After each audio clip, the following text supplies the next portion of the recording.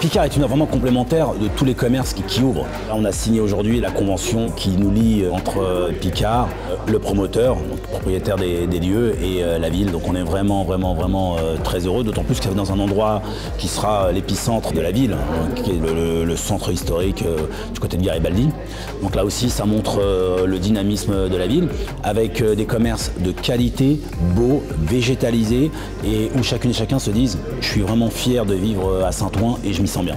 Et ce qui est particulier à Saint-Ouen, c'est que c'est une histoire euh, qui dure depuis tellement longtemps. Donc on est ravis effectivement de pouvoir répondre présent, d'être prêt pour euh, la rentrée septembre 2023, parce qu'on sait qu'il y a de grands événements euh, qui arrivent derrière. Et donc si on peut voilà, faire partie de l'accueil de tous ces événements, de tous les gens qui nous visiteront, alors on serait, on serait ravis.